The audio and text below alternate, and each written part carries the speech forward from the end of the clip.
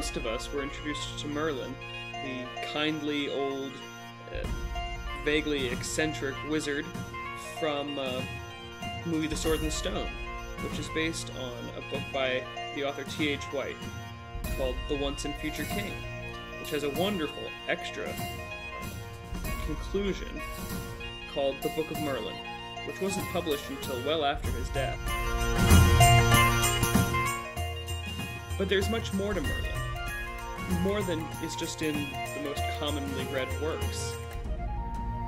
There's Merlin, the wise old sage who we're all familiar with, but he, he starts out as a prophetic young child, speaking to a king.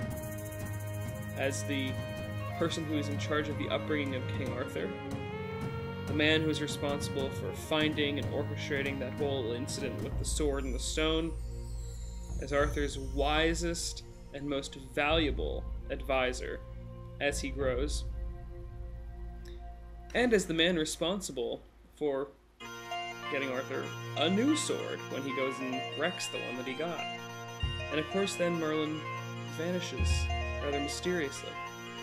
Today, you'll be looking at works about Merlin. You're going to start out with uh, T.H. White's Sword and the Stone. That'll be interspersed with uh, some quotations, some video quotations from Walt Disney's wonderful film, The Sword and the Stone, which was how most of us were introduced to Arthur in the first place. After that, you will be looking at brief passages from Geoffrey Ashe, who's done some wonderful introductions about the life of Merlin. Uh, following that, you're going to look at Sir Thomas Malory's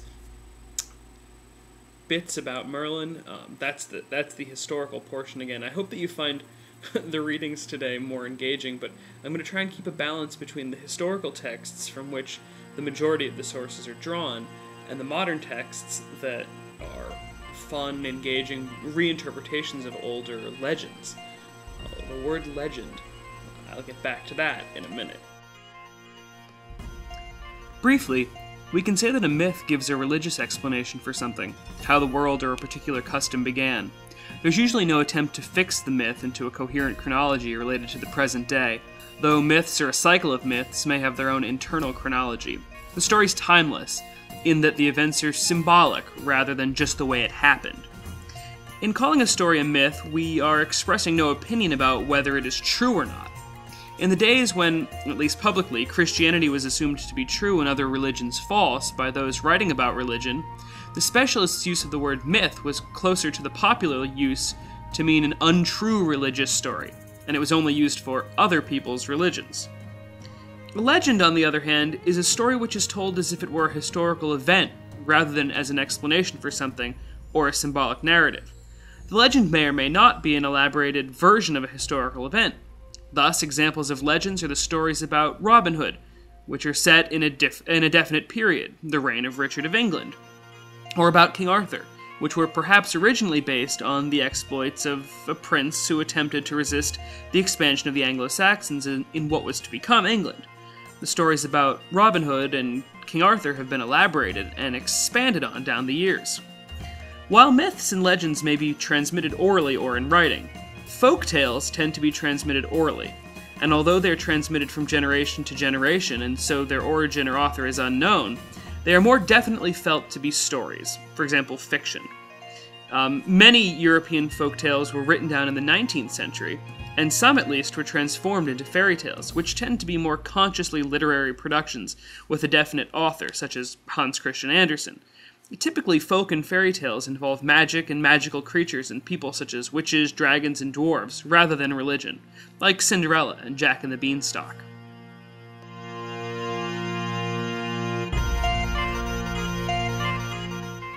Sean asked me before if um, the Giant's Dance was the same as Stonehenge, which is the monument that you can see in front of you right now. Honestly, we don't really know. Um, Stonehenge is, is just the most famous of a series of um, standing stone monuments that you'll find all over the British Isles and in Ireland. Um, no one knows exactly why they exist. Um, there's been speculation from temples to giant pieces of astronomical equipment. Um, the reality is, is that the Giant's Dance was something like Stonehenge. And I have a question. What about Uther Pendragon, the legendary father of King Arthur? We know for a fact that he existed.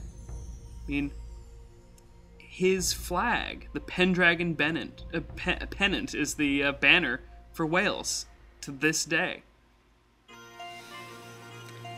So you want to know if King Arthur was real or not? Uh, I don't know. I really want the answer to be yes. And I've spent a really, really long time reading and, and traveling and trying to figure things out. And there's a lot of evidence that he was a real person. There's a lot of evidence that he didn't ever exist, but you science folks know how hard it is to prove that something never existed or can't exist. It's, it's difficult, and I think that that um, makes an excellent point when he says it's like Beowulf.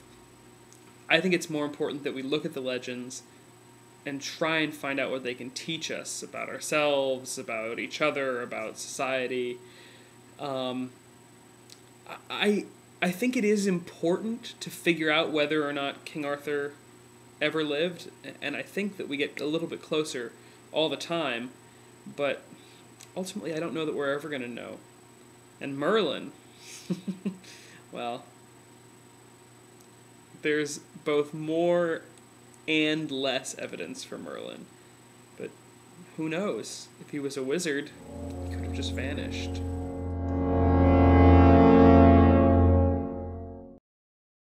This has been a Weeble H production.